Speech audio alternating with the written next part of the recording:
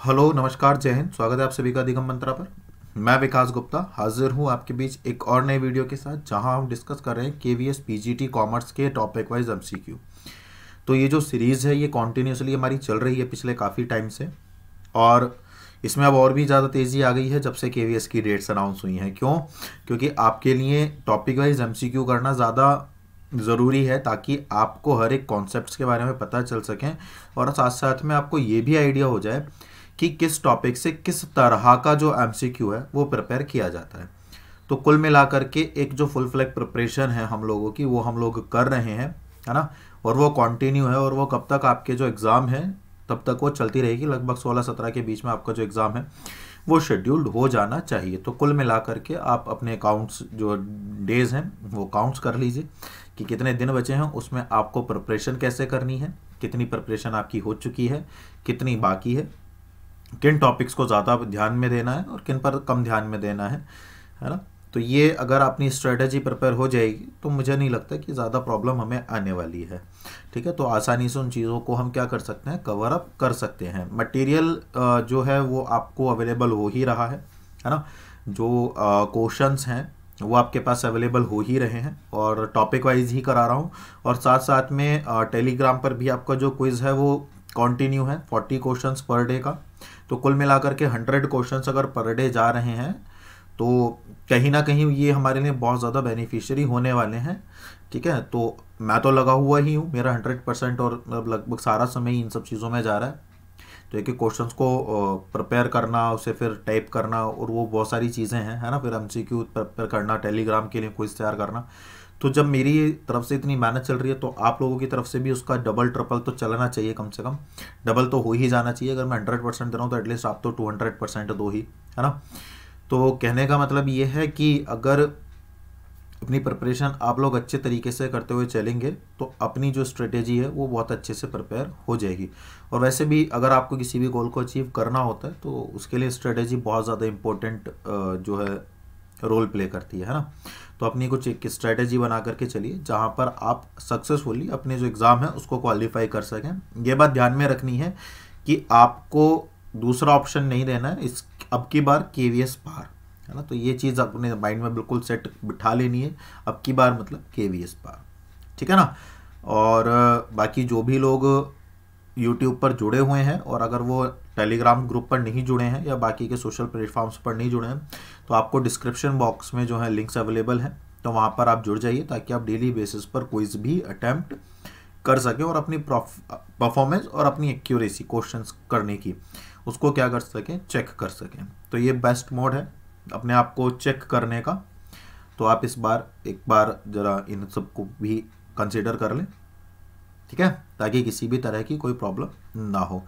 दूसरा एक ये है कि यार अभी थोड़ा सा टाइम नहीं मिल पा रहा है, थोड़ा सा क्या बिल्कुल भी टाइम नहीं मिल पा रहा है, ठीक है? तो ताकि जिससे मैं आपकी जो पीडीएफ वगैरह है या उन सब पर काम कर सकूँ और आपको वो शेयर कर सकूँ तो इस चीज़ को लेकर के थोड़ा सा कॉपरेशन आपका मुझे चाहिए, ठीक है?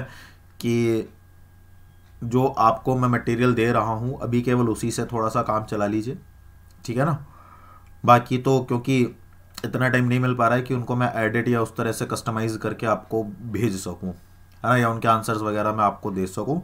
तो अभी जो भी चीज़ें हैं आपके सामने हैं मतलब यही अभी मेरे पास इतना ही टाइम मिल पा रहा है कि मैं आपको यही चीज़ें अभी प्रोवाइड करा पा सकता हूँ, है ना। तो ये भी एक चीज़ है। बाकी तो तैयारी करते रहिए। हाँ अगर कहीं कोई क्वेरी वगैरह आती है तो उसके लिए मैं अवेलेबल हूँ, है ना। तो उसका कोई टेंशन नहीं लेना है। बाकी खुश रहो, मस्त रहो और चलिए शुरू करते हैं अपना आज का टॉपिक जहाँ पर हम बात करेंगे बिज़नेस स्टडीज़ के कुछ और बेहतरीन टॉपिक्स और एम के बारे में, जो कुछ नए हैं। तो पहला जो हमारा देख लेते हैं कि किनसे रिलेटेड है। बिज़नेस एनवायरनमेंट और प्लानिंग बिज़नेस एनवायरनमेंट और प्लानिंग को लेकर के आज हम लोग जो है एम करने वाले हैं। तो डेफिनेटली यहाँ से अब आपको एक एक बिज़नेस एनवायरनमेंट और प्लानिंग के बारे में पता चल जाएगा, ठीक है? चलिए, शुरू करते हैं अपना पहला क्वेश्चन आज का।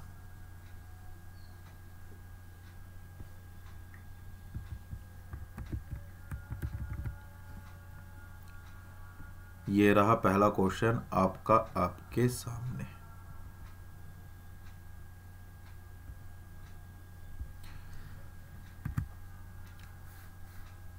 Which of one of the following is not a feature of business environment जो हमारा व्यावसायिक वातावरण होता है, उसमें से, निम्न में से कौन व्यावसायिक वातावरण की विशेषता नहीं है? नहीं पूछा है। अनसर्टेनिटी इंटरडिपेंडेंस कॉम्प्लेक्सिटी या स्टेबिलिटी अनसर्टेनिटी का मतलब क्या होता है कि जिसके बारे में आपको पता ना हो। इंटरडिपेंडेंस जो एक दूसरे से संबंधित हो। कॉम्प्लेक्सिटी जिसको समझना आसान ना हो। स्टेबिलिटी जहाँ पर एक कंसिस्टेंसी हो। कंसिस्टेंसी मतलब स्थिरता, है ना? तो बताइए इनमें से कौन सा सही ऑप्शन आपका जाने वाला है? कोशिश, प्रयास ये कीजिएगा कि जो आप एमसीक्यू पढ़ रहे हैं साथ साथ आप उनके जो है आंसर्स भी कमेंट करते रहे ताकि आपको पता चल सके कि आपकी प्रिपरेशन कैसी है है ना? तो स्टेबिलिटी जो है इसका करेक्ट आंसर चला जाएगा। Next proper understanding of business environment is not a pre request for अगर जो आपका व्यवसायिक वातावरण है है ना, उसकी सही तरीके से समझ, निम्न में से क्या नहीं है?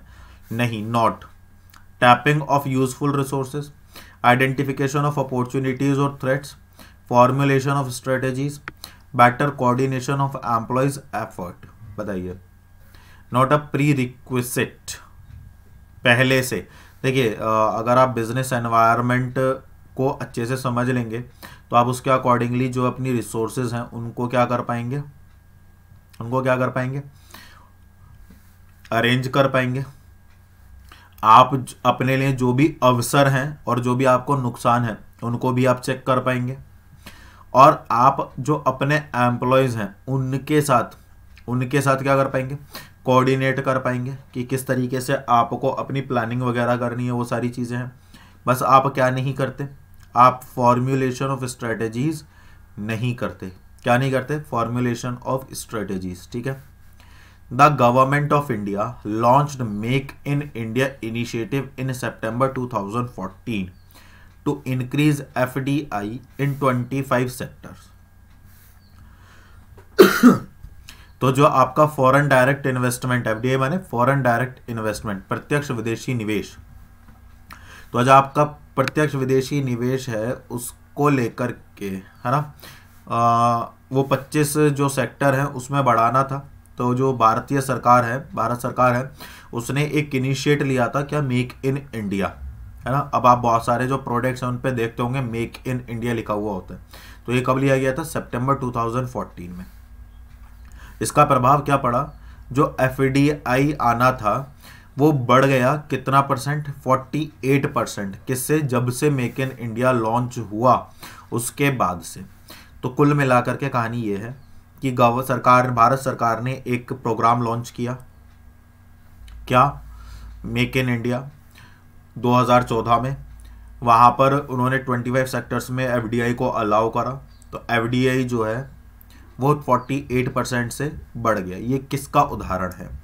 डिमोनेटाइजेशन प्राइवेटाइजेशन लिबरलाइजेशन या ग्लोबलाइजेशन बताइए करेक्ट आंसर क्या होगा? देखिए एफडीआई की बात बेशक हो रही है, लेकिन ये ग्लोबलाइजेशन नहीं होगा। क्यों? क्योंकि जो आपने एफडीआई किया है, वो आपने फॉरेन इन्वेस्टमेंट को अट्रैक्ट करने के लिए किया तो इसका मतलब यह कि जो ट्रेड हो रहा है, वो आपके देश के अंदर ही होगा। तो ग्लोबलाइजेशन तो ये होगा नहीं, है ना? लिबरलाइजेशन प्राइवेटाइजेशन प्राइवेटाइजेशन में कंपनी सॉरी जो गवर्नमेंट है, वो किसी का भी डिसइन्वेस्टमेंट नहीं कर रही है तो ये प्राइवेटाइजेशन नहीं हो सकता। और जो डिमोनेटाइजेशन होता है, वो लीगल टेंडर होता है। इसका मतलब क्या है? जितनी भी हमारी करेंसी होती है, क्या होती है? जितनी भी हमारी करेंसी होती है, वो लीगल टेंडर पर चलती है। किस पर चलती है? लीगल टेंडर पर। जब तक ये लीगल टेंडर रहेगा, तब तक वो कम, जो करेंसी है, वो लीगल रहेगी। और जैसे ही गवर्नमेंट इसे लीगल टेंडर को कैंसिल कर देती है, वैसे ही वो जो मुद्रा होती है, वो जो करेंसी होती है, वो उसका जो लीगल राइट होता है, वो क्या हो जाता है? ख़त्म हो जाता है। तो उसी को क्या कहा गया है? डिमोनेटाइजेशन कहा गया है। तो इसमें बेटा एक ही बचता है। दैट इज़ लिबरलाइजेशन और बात भी सही है। सरकार ने लिबरलाइजेशन का मतलब क्या होता है? रूल्स और रेगुलेशंस में क्या कर देना एक फ्लेक्सिबिलिटी ले आना कि भाई हमने अपने 25 सेक्टर्स में फ्लेक्सिबिलिटी कर दी है। आप आइए और इन्वेस्टमेंट करना शुरू कीजिए। क्लियर है? According to a report by the India staffing federation I S F India has has as as fifth largest market world worldwide in flexi staffing in 2018 and the country would have 6.1 million flexi workforce by 2021 तो ये क्या show करता है? ये Haryana, Gujarat, Karnataka MP और Telangana are the states with high growth potential for flexi staffing but Andhra Pradesh top the list of states with favourable business environment identify the features relativity है. Dynamic है. Uncertainty है. या inter relatedness है बताइए। क्या होगा? Dynamic क्या यहाँ पर किसी भी चेंज की बात की जा रही है? बताइए क्या यहाँ पर किसी भी चेंज की बात की जा रही है? नहीं। नहीं ना? तो ये तो होगा नहीं। क्या यहाँ पर किसी भी किसी भी आ, क्या कह सकते हैं अनसर्टेनिटी को क्या कह सकते हैं भाई? जो है कि भाई लाभ और हानि हो सकती है। क्या हो सकता है? लाभ और हानि हो सकती है। इसका मतलब है जहाँ पर आपकी निश्चितता ना हो। क्या ना हो? जहाँ पर आपकी निश्चितता ना हो। बताइए, बात समझ आ रही है? इसके बाद आता है तो ये भी नहीं होगा। इसके बाद आता है इंटर रिलेटेडनेस क्या आता है? इंटर रिलेटेडनेस तो इंटर रिलेटेडनेस क्या होता है? जो एक दूसरे पर निर्भर होते हैं। क्या होते हैं? एक दूसरे पर निर्भर होते हैं। तो क्या ये यहाँ पर एक दूसरे पर निर्भरता की बात हो रही है? ये भी गलत हो गया। तो आपके पास एक ही ऑप्शन बचता है दैट इज़ ए जिसको हम क्या कहते हैं? रिलेटिविटी कहते हैं। क्या कहते हैं इसको हम? रिलेटिविटी कहते हैं। अब सर ये हमें पता कैसे चला? देखो, ये तो उनके लिए है, जिनको नहीं आता इसका आंसर। बाकी जिनको आता है, उनके लिए क्या देखो। यहाँ पर कह रहा है फ्लैक्सी वर्क फोर्स है। तो ये क्या दिखा रहा है? हरियाणा, गुजरात। अच्छा एक बात बताओ। क्या सभी जगह पर वर्किंग कंडीशन एक हो सकती है? नहीं। तो ऐसा एनवायरनमेंट जो प्लेस टू प्लेस क्या होता है अलग अलग होता है, उसको हम क्या बोलते हैं? रिलेटिविटी बोलते हैं। क्लियर है? मतलब एनवायरनमेंट का अपनी जगह से रिलेट होना। जैसे जहाँ मैं बैठा हूँ, वहाँ का एटमोसफेयर अलग है, लेकिन जहाँ पर आप बैठे हो, वहाँ का एटमोसफेयर क्या है? अलग है। तो हो सकता है कि जितना कंफर्टेबली मैं यहाँ पर काम कर पाता हूँ, उतना कंफर्टेबली मैं वहाँ ना काम कर पाऊँ, या जितना कंफर्टेबली मैं वहाँ काम कर सकता हूँ, उतना कंफर्टेबली मैं यहाँ काम ना कर पाऊँ। तो इसका मतलब क्या है कि ये प्लेस टू प्लेस क्या होता है? चेंज होता है ना? तो उसी को रिलेटिविटी कहा गया है। The government of India has recently come up with an amendment of Companies Act 2013. Recent में हमारा कंपनीज़ एक्ट में क्या हुआ था? अमेंडमेंट हुआ था चेंजेस हुए थे। किसके regard C S R corporate social responsibility क्या? कॉरपोरेट सोशल रिस्पॉन्सिबिलिटी और ये किसका? किस एनवायरमेंट का जो है प्रकार है? पॉलिटिकल लीगल इकोनॉमिकल या पॉलिटिक पॉलिटिकल दो बार आ गया। चलो कोई बात नहीं। पॉलिटिकल होगा। इसको नन ऑफ़ दीज कर लो, चलो। नन ऑफ़ दीज बताइए। C S R corporate social responsibility अगर आपने मेरे सारे वीडियोस देखे तो पीछे मैंने एक वीडियो में शायद डिस्कस किया था आपसे कि हर कंपनी को अपने पिछले तीन सालों का तीन सालों का टू परसेंट जो रेवेन्यू हुआ है रेवेन्यू है उसका टू परसेंट जो है C S R corporate social responsibility में खर्च करना ज़रूरी है। तो इसका मतलब क्या है? ये लीगल हो गया। और वैसे भी जहाँ पर एक्ट की बात होती है, वो लीगल ही हो जाता है। Which of the following is an example of economic environment इनमें से इकोनॉमिक एनवायरमेंट का कौन सा उदाहरण है? Economic money supply in the country composition of family constitution of the country consumer act ये दोनों तो हो जाएँगे आपके लीगल। ये हो जाएगा आपका सोशल और ये हो जाएगा आपका इकोनॉमिकल। बताइए, बात समझ आ रही है? चलिए, आगे बढ़ते हैं। When was economic reform programme introduced in the Indian economy economic reforms कब हुए थे? 1991 में हुए थे। कब हुए थे? 1991 जब न्यू इंडस्ट्रियल पॉलिसी अडॉप्ट की गई थी, जिसको हमने न्यू इकोनॉमिक पॉलिसी का भी नाम दिया था।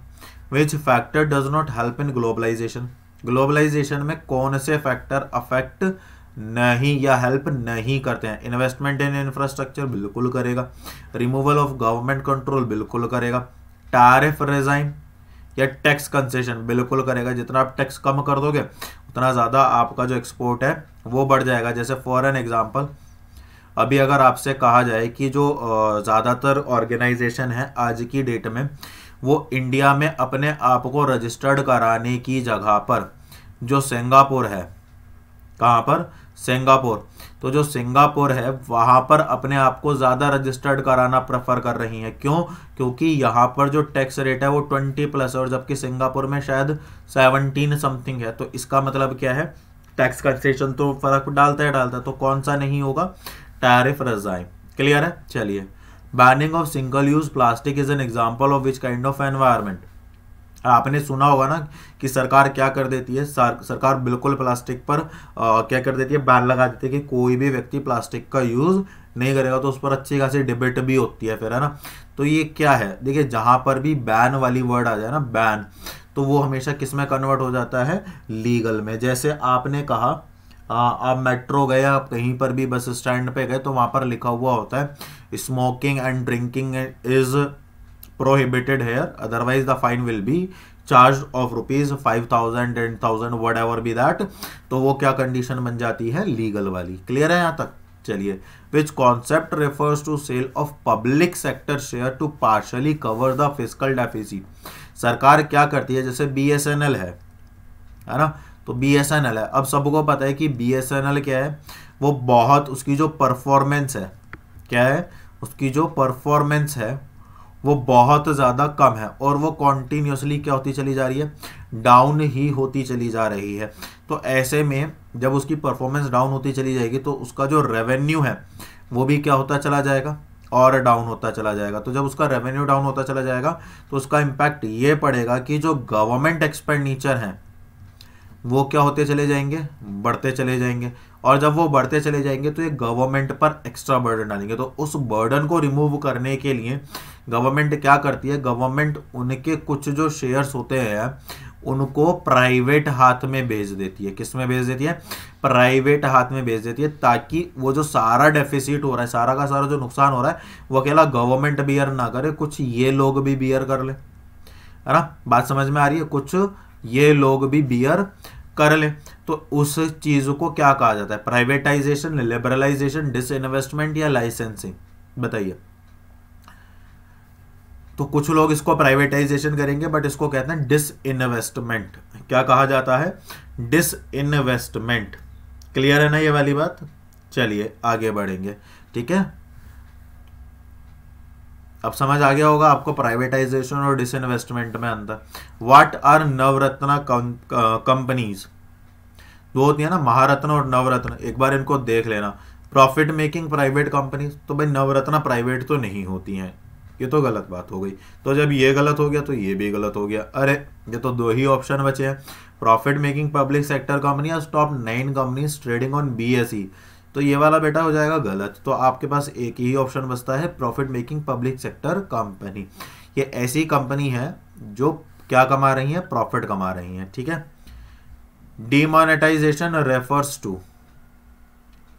क्या? डिमोनेटाइजेशन रेफर्स टू तो डिमोनेटाइजेशन किसको रेफर करता है? Reducing the value of currency devaluation of the currency scrapping the currency and the use या ऑल ऑफ़ दीज तो जो भी ऑल ऑफ़ दिस पर जा रहे हैं, उनको मैं कर देता हूँ, गलत। अब बच्चे तीन ऑप्शन आपके सामने, बताइए इन तीन में से कौन होगा? अच्छा एक बात बताओ, आपके पास हंड्रेड रुपीज़ है। क्या उसकी वैल्यू रिड्यूस करना डिमोनेटाइजेशन कहलाता है? नहीं। क्या उसको डी वैल्यू कर देना डिमोनेटाइजेशन कहलाता है? नहीं। लेकिन हाँ उसको स्क्रैप में बदल देना क्या कहलाता है? डिमोनेटाइजेशन कहलाता है। जो आपके पास पाँच सौ हज़ार के नोट थे, वो बेकार हो गए। तभी तो वो डिमोनेटाइजेशन हुआ। Budgetary support to public sector is increase as a consequence of the LPG LPG का मतलब क्या था? लिबरलाइजेशन क्या है? लिबरलाइजेशन प्राइवेटाइजेशन और ग्लोबलाइजेशन तो ये तीन इसके क्या है? बेसिक फंडामेंटल है। एलपीजी के। अब मुझे ये बताइए, एलपीजी जब इंट्रोड्यूस्ड हुआ तो उससे जो पब्लिक सेक्टर था गवर्नमेंट का जो सेक्टर मतलब जो फ़िज़िकल पॉलिसी है, उसको बजटरी सपोर्ट उसका बढ़ा या नहीं बढ़ा? तो ट्रू या फॉल्स फॉल्स क्या होगा? फॉल्स होगा। ठीक है ना? चलिए, आगे बढ़ते हैं। The sensex after lok sabha election is an example of which environment? जैसे अभी क्या है टू थाउज़ेंड ट्वेंटी फोर में आपके लोकसभा इलेक्शन होने वाले हैं। है ना? क्या होने वाले लोकसभा इलेक्शन होने वाले अब उसमें कोई ना कोई तो नई गवर्नमेंट चुन करके आएगी। अब जैसे सपोज़ करो उसमें कोई भी गवर्नमेंट है, वो चुन करके आती है। जैसे सपोज़ करो अभी हमारी जो है एनडीए की गवर्नमेंट है बीजेपी है ना? सपोज़ करो लेट अगर यही 2024 में क्या करती है रूल करती है है ना लीडिंग पार्टी बनती है, और तो उसका इम्पैक्ट सेंसेक्स पर कुछ तो पड़ेगा। भाई उसका इम्पैक्ट जो है, वो सेंसेक्स पर कुछ तो पड़ेगा।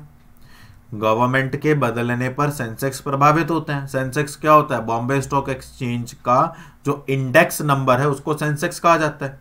है ना? ऐसे ही नेशनल स्टॉक एक्सचेंज का जो सेंसेक्स सॉरी क्या कहते हैं आपका इंडेक्स नंबर है, उसको निफ्टी कहा जाता है। तो दोनों पर फ़र्क पड़ता है। तो इस, जो सेंसेक्स बढ़ेंगे या कम होंगे तो वो किस एनवायरमेंट किस वातावरण के तहत तो बदले जाएँगे? लीगल पॉलिटिकल इकोनॉमिकल या सोशल ठीक है क्योंकि यहाँ पर जो प्रभाव पड़ रहा है, वो गवर्नमेंट पार्टी के होने से प्रभाव पड़ रहा है। किसके होने से प्रभाव पड़ रहा है? गवर्नमेंट पार्टी के होने से प्रभाव पड़ रहा है तो ये पॉलिटिकल में कन्वर्ट हो जाएगा। लेकिन लेकिन अगर यहाँ पर लोकसभा का ज़िक्र नहीं होता, सिर्फ़ ये होता है इंक्रीज इन सेंसेक्स तो वो कौन सा डायमेंशन है एनवायरमेंट का? तब इकोनॉमिकल चला जाएगा। क्लियर है ये वाली बात? चलो, आगे बढ़ते हैं। Standards should be dash so that they can be modify as per the changes taking place in the business environment जो हमारे स्टैंडर्ड्स होते हैं, वो किस तरह के होते हैं ताकि जो हमारा व्यावसायिक वातावरण है, उनमें अगर हमें किसी भी तरह से बदलाव करना हो तो उन बदलावों को हम आसानी से क्या कर सकें? उन बदलावों को हम आसानी से कर सकें। तो जब भी बदलाव वाली बात आती है तो वो स्टेटिक होते नहीं है रिजिट से कोई लेना देना नहीं है स्टेगनेंट होते नहीं है फ्लेक्सिबल होते हैं, जिन्हें आप अपनी सुविधा के अनुसार क्या कर सकते हो? कस्टमाइज कर सकते हो। तो 15 के बी के साथ जो है हमारा वो क्वेश्चन आंसर चला जाएगा। नेक्स्ट हमारे सामने आता है since more number of people have become more beauty जितने ज़्यादा लोग आज की डेट में हो रहे हैं वो उतने ज़्यादा खूबसूरत और हेल्थ कॉन्शियस हो रहे हैं। है ना? आ, हमारे देश में। और ये देखा भी जा सकता है। ठीक है ना?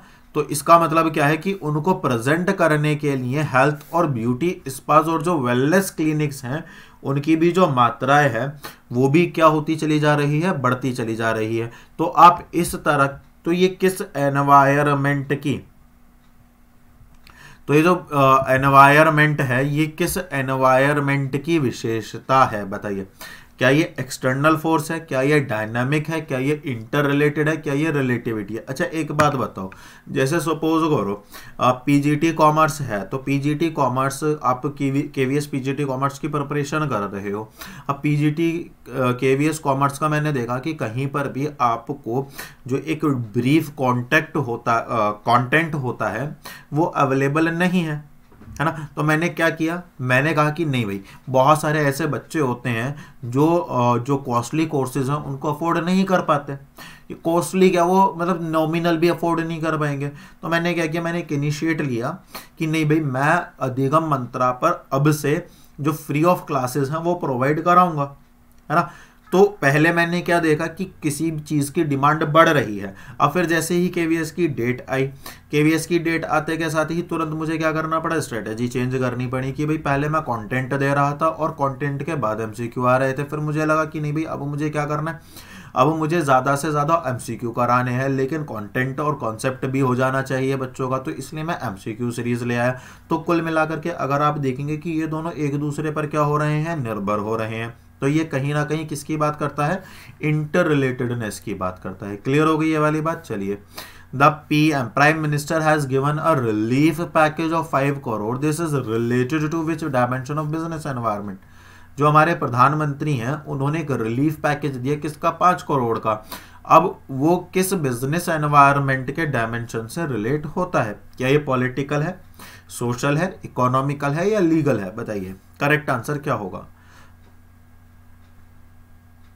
जैसे सपोज़ करो एक उदाहरण के तौर पर है ना मान करके चलिए कि आ, कोई इंडस्ट्री है है ना आ, जैसे एमएसएमई सेक्टर है तो स्मॉल इंडस्ट्री में जो आपका हाथ के बर्तन बनाने वाले जो है इंडस्ट्री है है ना तो वो धीरे धीरे धीरे धीरे क्या होती चली जा रही है, वो खत्म होती चली जा रही है। अब गवर्नमेंट की नॉलेज में ये वाली बात आई कि भाई नहीं इंडस्ट्री तो जल्दी खत्म हो जाएगी। और अगर इंडस्ट्री खत्म हो गई तो जो बहुत सारे ऐसे लोग हैं जो हाथ से चीज़ें बनाते हैं, है ना तो उनके रोज़गार खत्म हो जाएँगे। और जो दे, उनकी भूखमरी जो है और ये सारी चीज़ें क्या हो जाएँगी? बढ़ जाएँगी, है ना, ये वाली बात आ गई बात समझ में। तो इसका मतलब ये है कि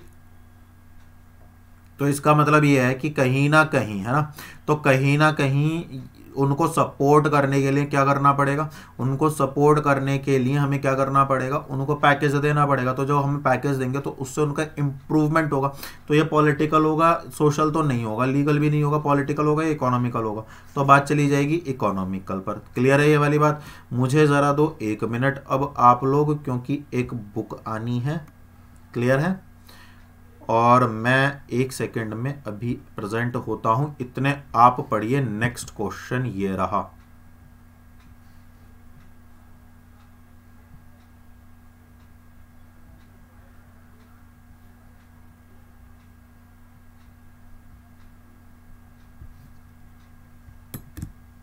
हेलो कहाँ पर खड़े हैं आप? चांदनी कलेक्शन के बिल्कुल सामने ठीक है मैं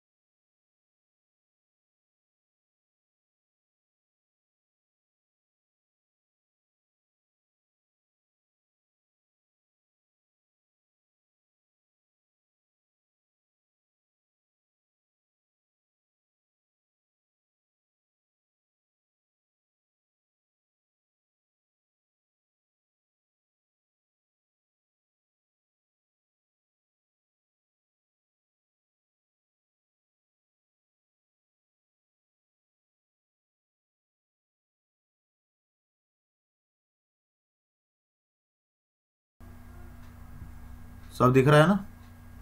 चलिए। तो नेक्स्ट क्वेश्चन है। सॉरी फॉर इनकन्वीनियंस ठीक है ना? एक पार्सल आना था। Micro environment factors include micro environment में कौन कौन से जो फैक्टर हैं, उन्हें इंक्लूड किया जाता है, बताइए। कस्टमर सप्लायर इंटरमीडिएटरीज या all of these what will be the correct answer तो माइक्रो में तो कस्टमर भी होता है सप्लायर भी होता है और इंटरमीडिएटरी देखिए, हमारे जो एक्सटर्नल एनवायरनमेंट होते हैं, वो दो तरह के होते हैं। एक तो माइक्रो और एक मैक्रो तो जहाँ पर माइक्रो वाली आती है तो उन्हें आप कुछ हद तक क्या कर सकते हो कंट्रोल कर सकते हो, लेकिन मैक्रो को तो आप कंट्रोल ही नहीं कर सकते। जैसे लीगल है पॉलिटिकल है सोशल है टेक्नोलॉजिकल है।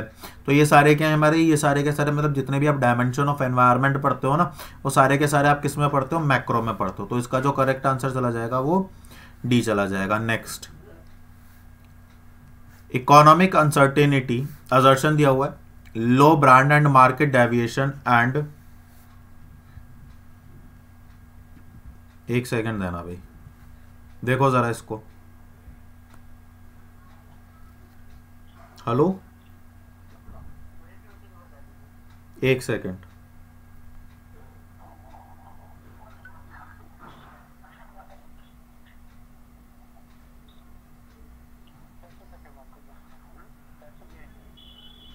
Nine zero eight three. Nine zero eight three. Nine zero nine. Nine zero eight three four eight. ठीक।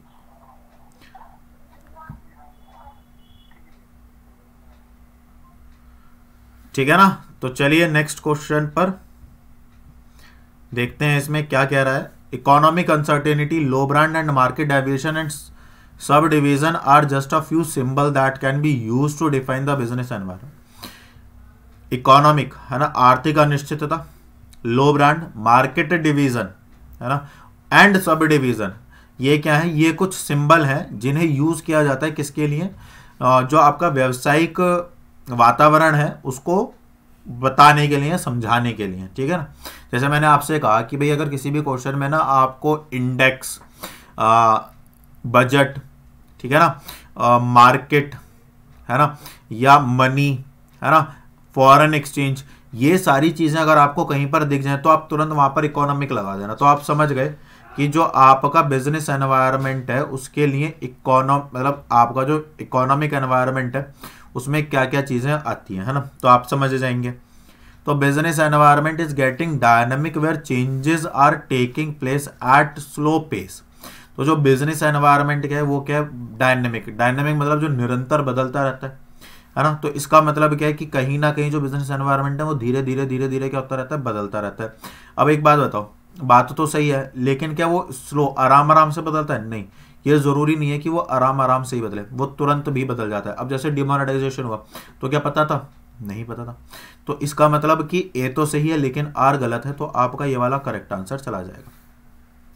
Dash provided by the study of business environment helps in resisting and threats accompanying the business environment इनमें से कौन सा जो हमारा व्यवसायिक वातावरण होता है, उसको रेसिस्ट करने में और जो थ्रेट्स हैं, उनको जांचने में मदद करता है। मतलब जो आपका व्यापारिक वातावरण है, उसको समझने में ताकि भाई ये हमारे लिए अपॉर्चुनिटी हो सकती है या ये हमारे लिए क्या, कह सकते हैं थ्रेट हो सकता है कि तो ये कौन सी चीज़ है इनमें से जो बताती है? First mover advantage warning signal या पॉलिसी फॉर्मेशन या both of both A and B अब आपका के आया। तो के के जब फॉर्म भरेगा तो आपको अपॉर्चुनिटी दिखी कि भाई नहीं हाँ अब हमारे पास क्या है? के का एग्ज़ाम है तो अब हमारी जो गवर्नमेंट जॉब है वो लग जाएगी। लेकिन कुछ ही दिन बाद के ने क्या कर दिया? के ने अपनी डेट अनाउंस कर दी।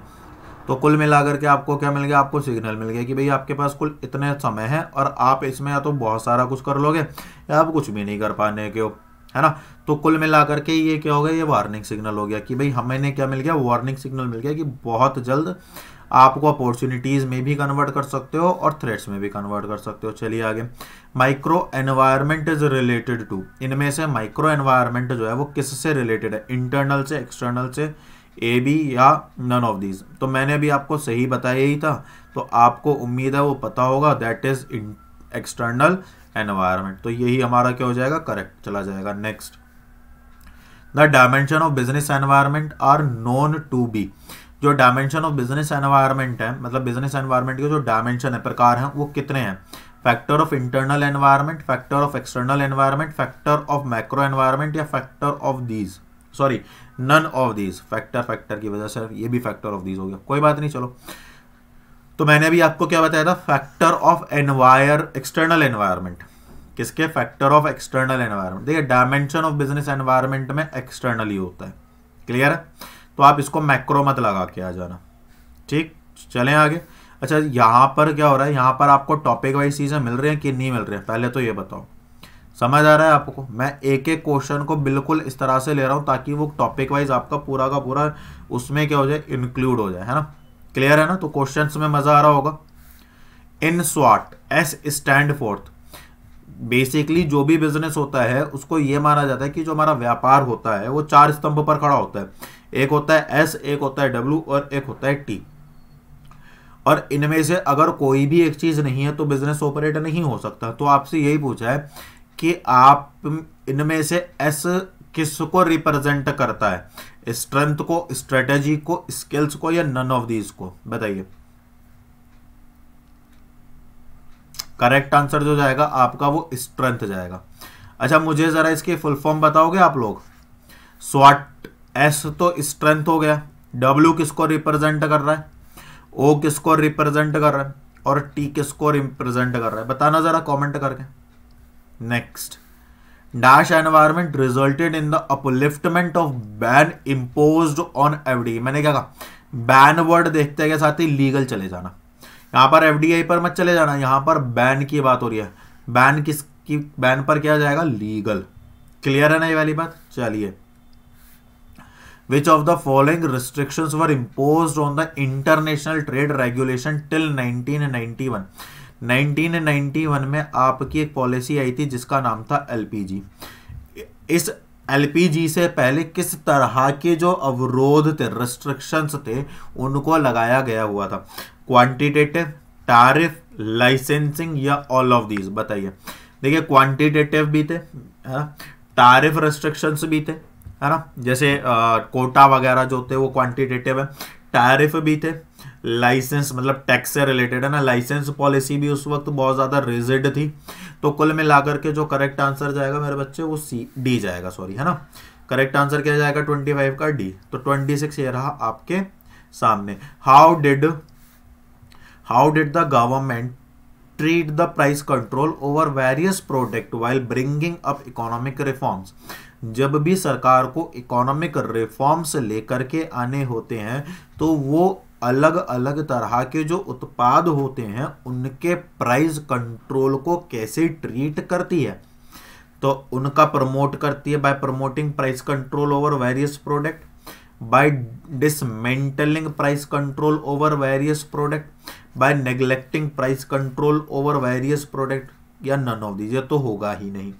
अब नेग्लेक्ट वो करेगी नहीं। भाई, ऐसा थोड़ी है कि आपको किसी एक प्रोडक्ट को लॉन्च करने के लिए आप दूसरे प्राइस दूसरे प्रोडक्ट के प्राइस को नेग्लेक्ट ही कर दोगे, बिल्कुल। ये तो गलत हो जाएगा, है ना? इसका मतलब ये है कि क्या आप उसको प्रमोट करोगे? नहीं। आप क्या करोगे? आप by dismantling price control over various product जो आपके अलग अलग तरह के उत्पाद है, उन पर जो प्राइस कंट्रोल है, उसको क्या कर दोगे? डिसमेंटल कर दोगे, ताकि आप के लिए उस प्रोडक्ट को लेकर के आना आसान हो जाए। Next the policy related to income and expenditure is known as बताइए। New trade policy industrial policy monetary या फ़िज़िकल पॉलिसी मैं ये बता देता हूँ, ये पॉलिसी गवर्नमेंट यूज़ करती है। यहाँ पर गवर्नमेंट की बात हो रही है। तो इसीलिए गवर्नमेंट कौन सी पॉलिसी यूज़ करती है? फ़िज़िकल पॉलिसी, मॉनेटरी पॉलिसी जो यूज़ की जाती है वो आरबीआई के द्वारा की जाती है। क्लियर है वाली बात? चलिए आगे बढ़ते हैं। Out of the following policies in which following does the RBI keep control on the money supply RBI क्या कर रहा है? मनी सप्लाई को कंट्रोल कर रहा है to get the objective of general economic policies ताकि वो जनरल इकोनॉमिक पॉलिसीज़ को क्या कर सके? उनके उद्देश्य को पूरा कर सके। तो बताइए इनमें से कौन सी पॉलिसीज़ है? Trade policy physical policy monetary किसकी बात हो रही है? आरबीआई की। आरबीआई का ट्रेड पॉलिसी यूज़ करता है? नहीं फ़िज़िकल पॉलिसी को यूज़ करता है। गवर्नमेंट इंडस्ट्रियल पॉलिसी इंडस्ट्री तो एक ही बचा। चलिए आगे।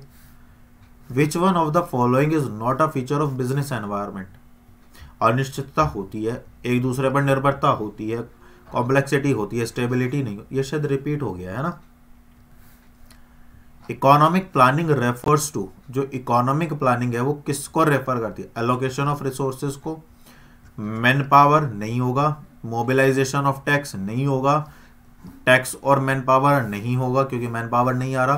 तो एक ही चीज़ बचती है एलोकेशन ऑफ़ रिसोर्सेज को ही इकोनॉमिक प्लानिंग में कंसिडर किया जाता है। Is a rule of thumb that managers used to simplify decision making. जो मैनेजर्स हैं, वो अपने किसी भी निर्णय को सिंप्लीफाई करने के लिए कौन सा रूल ऑफ़ थम यूज़ करते हैं? संक कोस्ट फ्रेमिंग ह्यूरिस्टिक्स या नन ऑफ़ दीज बताइए, कौन सा सही होगा इसमें से? What will be the correct answer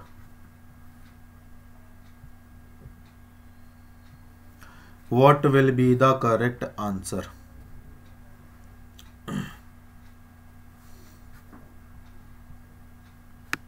तो इसका जो करेक्ट आंसर जाएगा, वो ह्यूरिस्टिक जाएगा, है ना?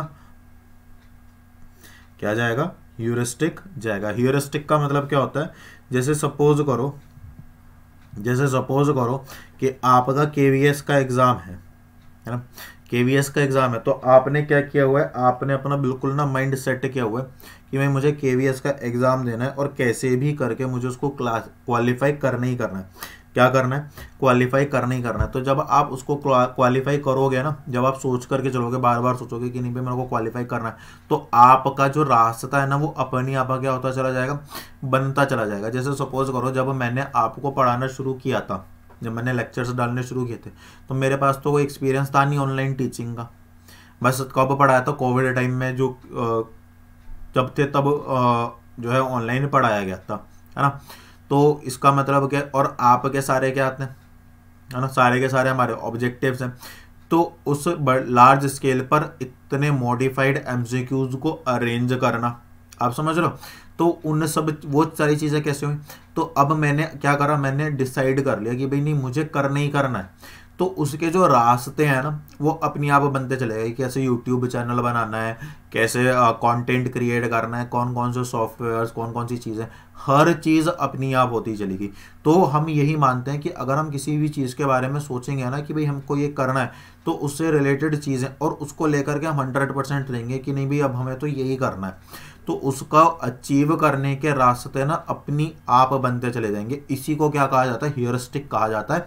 और ये क्या होता है? ये रूल ऑफ़ थंब होता है। जैसे कह देता है ना कि भाई, तुम ये काम शुरू कर दो तो कि भाई चलेगा कि नहीं चलेगा डोंट वेरी काम करना शुरू करो। चीज़ें अपने आप क्या होती चली जाएँगी? ईजी होती चली जाएँगी। तो वो वाली जो कहानी आती है ना, वो ह्यूरिस्टिक्स में आती है। क्लियर हो गई ये वाली बात? चलिए आगे बढ़ते हैं। The first five year plan of India was based on the model of जो आपका पहला फाइव ईयर प्लान था, वो किस मॉडल पर बेस्ड था? तो हारा डॉमर मॉडल ठीक है ना? इस पर बेस्ड था। चलिए आगे बढ़ते हैं।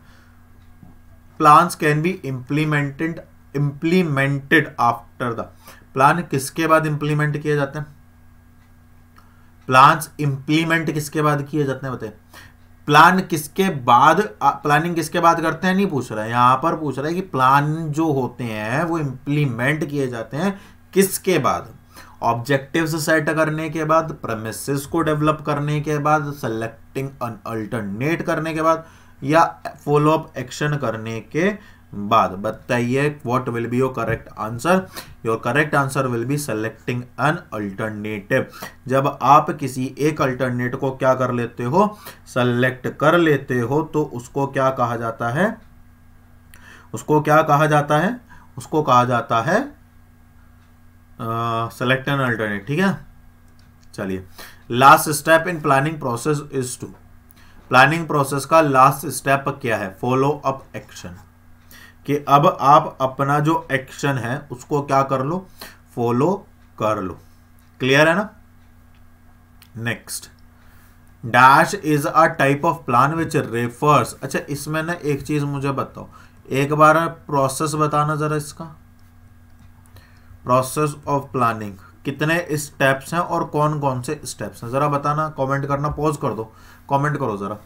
Dash is the is a type of plan which refers to the prescribed way और manner in which a specified task has to be performed बताइए पॉलिसी मेथड प्रोग्राम पॉलिसी इनमें से कौन सा एक टाइप का प्लान पूछा है जो किसको जो आपके अलग अलग तरीकों को बताते है कि आपको किसी भी काम को कैसे करना है, किस तरीके से करना है।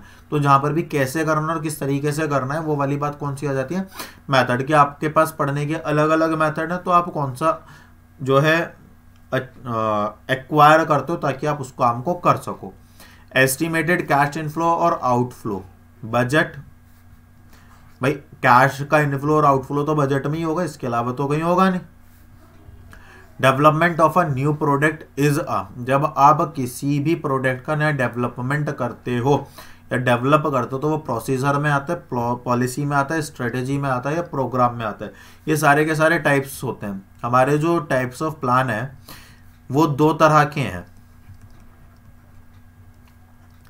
एक तो सिंगल यूज्ड और एक स्टैंडिंग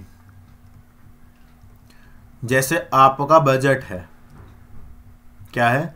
बजट है। तो बजट आपका एक बार क्या होगा? बनाया जाएगा और वो एक ही बार काम में आएगा। आप उसका यूज़ दोबारा नहीं कर सकते। जैसे सपोज़ करो, आपने के भी भरा है और आपने यूपी पी भी भरा है। तो आप दोनों की प्रिपरेशन एक साथ नहीं कर सकते। आप या तो पहले क्या करोगे? केवीएस करोगे, इसके लिए स्ट्रेटेजी प्रिपेयर करोगे और फिर किसके लिए करोगे? यूपी पीजीटी के लिए स्ट्रेटेजी प्रिपेयर करोगे और दोनों के लिए आपको सेम स्ट्रेटेजी काम नहीं कर सकती। तो यही बजट वाली कहानी है और स्टैंडिंग में, है ना? क्लियर है ना? और स्टैंडिंग में क्या आता है? स्टैंडिंग में जो आपके कंटिन्यू चलते रहते हैं, जैसे रूल्स तो इनमें आप मॉडिफिकेशन करते तो लेकिन जो रूल्स आपने बना दिए, वो आपके बने ही रहते हैं, या पॉलिसीज़ हो गई। है ना? तो ये वाली कहानी है। तो अब बताइए, जब आप नया प्रोडक्ट डेवलप करते हो तो आप वो प्रोसीजर कहलाता है पॉलिसी कहलाता है स्ट्रेटेजी कहलाता है प्रोग्राम कहलाता है। स्ट्रेटेजी क्लियर है? नेक्स्ट एग्ज़ाम्पल ऑफ़ सिंगल तुरंत ही आ गया।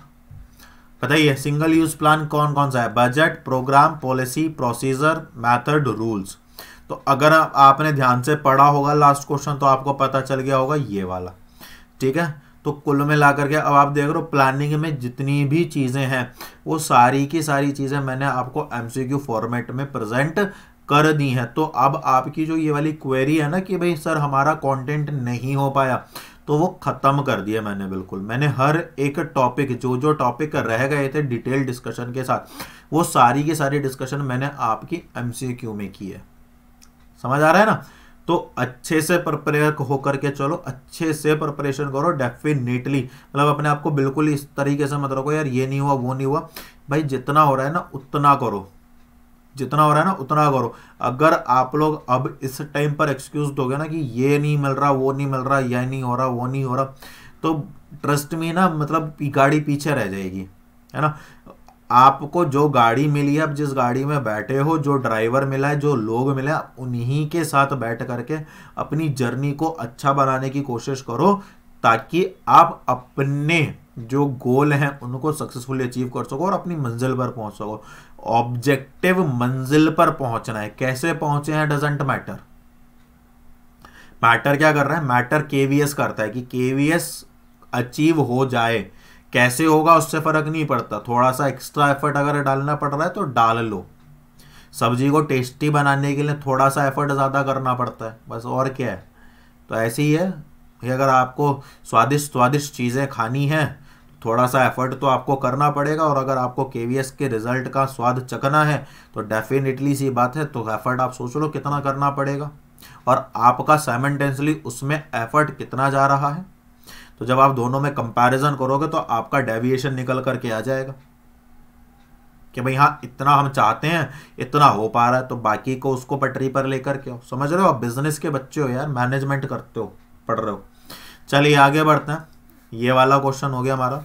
Developing promise reflect dash about the future that the manager is required to make about the future जो डेवलपिंग प्रोमिस होती हैं, वो किसको रिफ्लेक्ट करती हैं?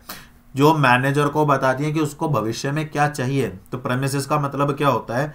प्रेमिस का मतलब होता है कि भावी भविष्य में हमें किन किन चीज़ों की आवश्यकता होने वाली है। उनको पहले से क्या करके रखना? अरेंज करना। ठीक है ना?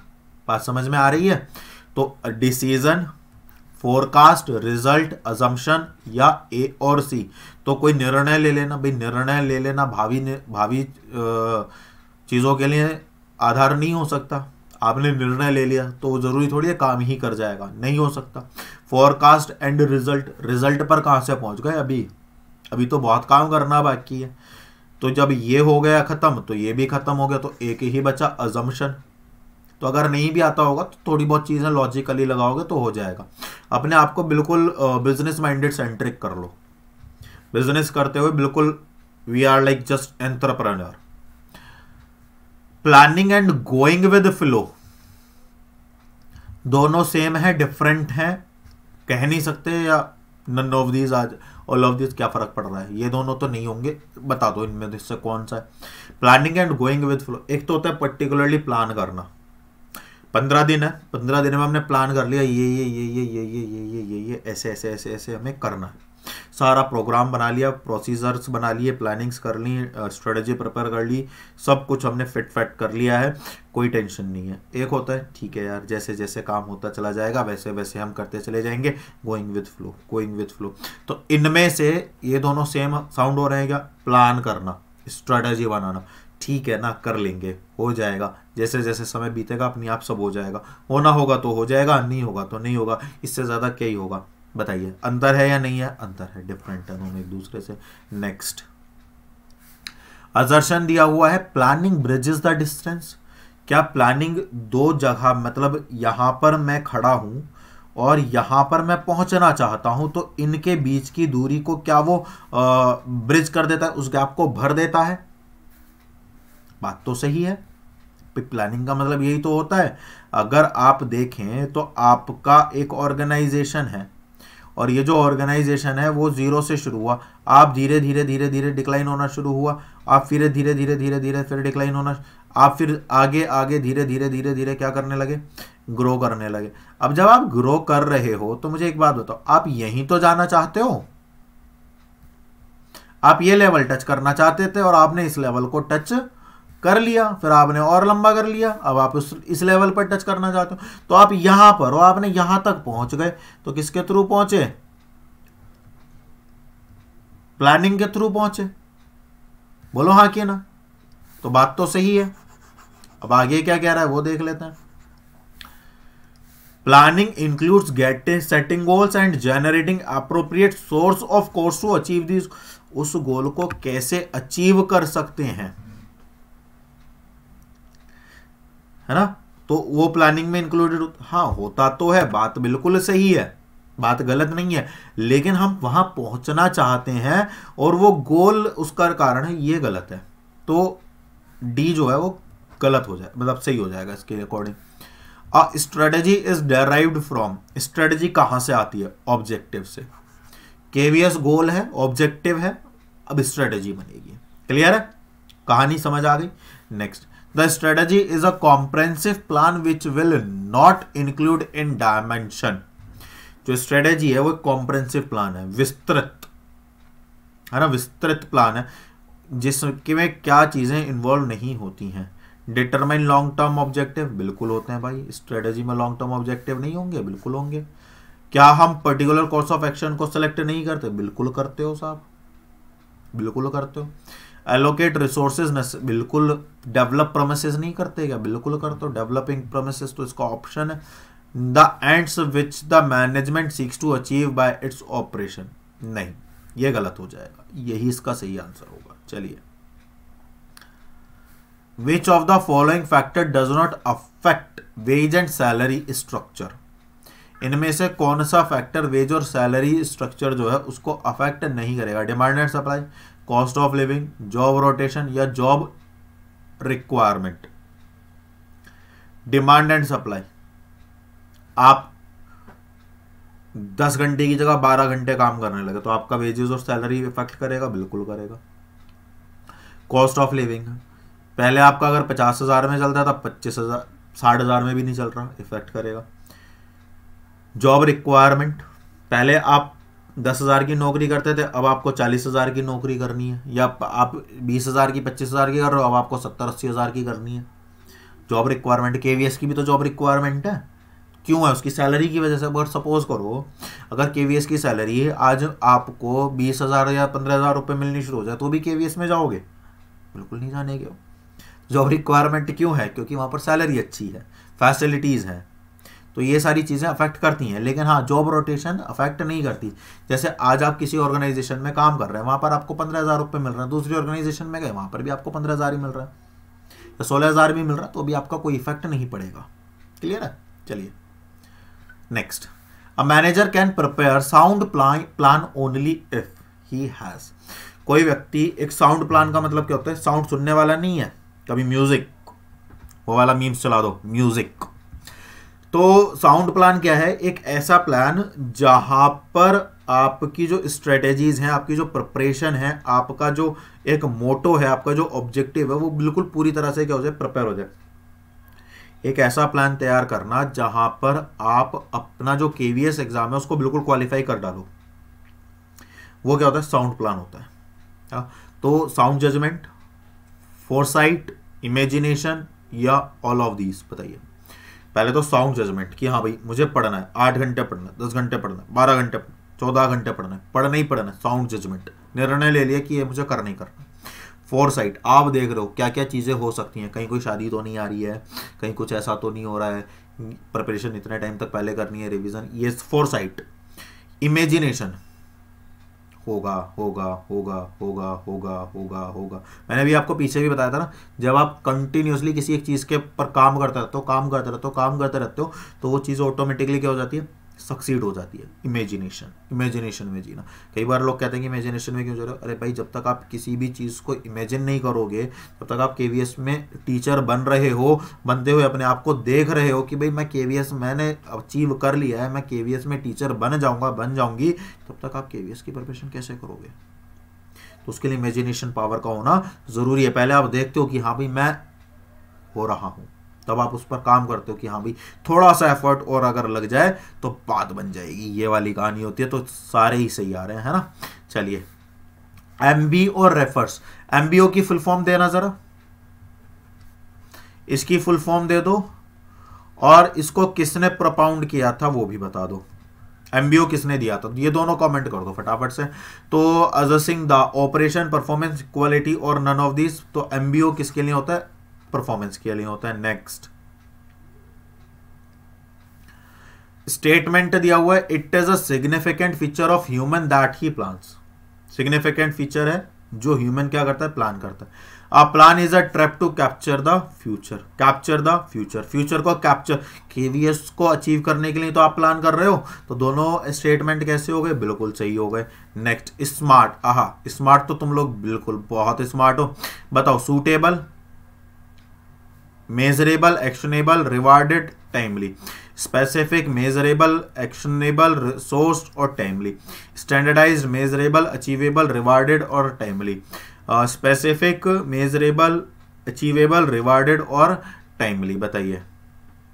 क्या होगा? सारे ही सही लग रहे हैं? सारे ही सही लग रहे हैं?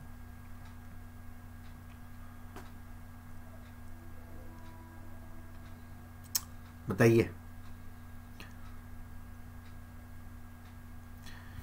आपका केवीएस स्पेसिफिक है। आप जब एग्ज़ाम दोगे तो अपनी आप परफॉर्मेंस चेक करोगे। फिर आप अपने एग्ज़ाम्स को क्या कर लोगे? अचीव कर लोगे। आपका रिज़ल्ट निकल कर करके आएगा, आपके लिए रिवार्ड होगा और आपके हाथ में ज्वाइनिंग लेटर टाइम से आ जाएगा टाइमली होगा। भाई देखो, इससे ज़्यादा बेस्ट तरीका मुझे नहीं मिला आप लोगों को इसको समझाने का तो मैंने यही उठा लिया। चलो, आगे आ जाओ। What is the first step of management management का फ़र्स्ट स्टेप कौन सा है? कंट्रोलिंग सेटिंग ऑब्जेक्टिव प्लानिंग और decision making planning planning organizing staffing directing और कंट्रोलिंग है ना? The basic role of strategy is to provide बताइए strategy direction for action setting procedure direction for control direction for motive strategy action में आ जाओ तुरंत strategy तैयार होगी अब तो कर डालना है तो direction for action next last आज का which plan is use for activities that occur regularly over a period of time बार बार बार बार बार बार बार बार बार बार वो क्या होती रहती है चलती रहती है चलती रहती है चलती रहती है कौन सा प्लान एक ऐसा है जिसमें रेगुलर एक टाइम के बाद तुरंत क्या होता रहता है वो कंटिन्यू चलता रहता है that is called follow up action एक सेकंड एक सेकंड एक सेकंड एक second which plan is use to the activities that occur regularly over a period of time ये वाला हो जाएगा गलत। फॉलो अप एक्शन क्यों होगा? स्टैंडिंग प्लान होगा। स्टैंडिंग प्लान होते हैं जो बार बार बार बार क्या होते रहते हैं? रिपीटेडली चलते रहते हैं। क्लियर है? क्लियर है ना ये वाली बात? चलिए। तो इसी के साथ आज का जो कार्य एक मिनट रुको भाई which plan is use for activities that occur regularly over a P भाई, ये वाला भी गल, नहीं नहीं, रुको इसमें लास्ट वाले में ही गड़बड़ होनी थी? Single use plan over time over a time period of time है ना? जैसे बजट है तो हर बार क्या होगा, वो बनता रहेगा, है ना? तो ये वाली कहानी सही है, इसका ए ऑप्शन सही जाएगा। क्लियर है? चलिए।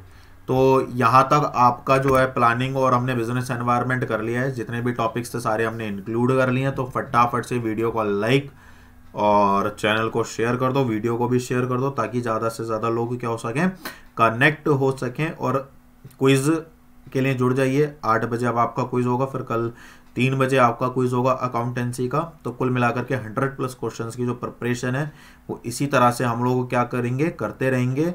आप लोग अधिगम मंत्रा पर बने रहिए, ठीक है? प्रिपरेशन बहुत ज़बरदस्त करेंगे, कुछ और भी चीज़ें सोची हैं होपफुली वो टाइम से अटैम्प्ट हो जाएँगी। ख्याल रखिए, खुश रहिए। मिलते हैं कल एक नए वीडियो के साथ। जय हिंद। वीडियो को लाइक चैनल को सब्सक्राइब करना बिल्कुल भी मत भूलिए। और हाँ वीडियो को शेयर कर दीजिए फटाफट से सभी जगह पर। जय हिंद।